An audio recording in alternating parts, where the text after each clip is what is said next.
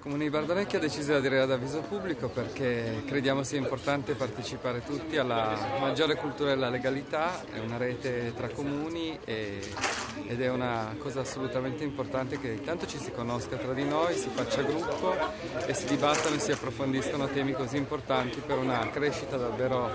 delle istituzioni e delle comunità. Che significato ha per l'amministrazione di Bardonecchia parte di avviso pubblico essere oggi qui a Bari?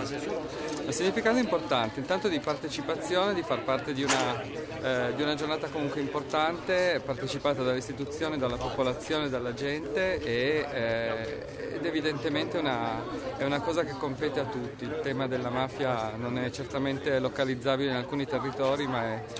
eh, un argomento da affrontare tra tutti in maniera assolutamente coesa e, e, e seria.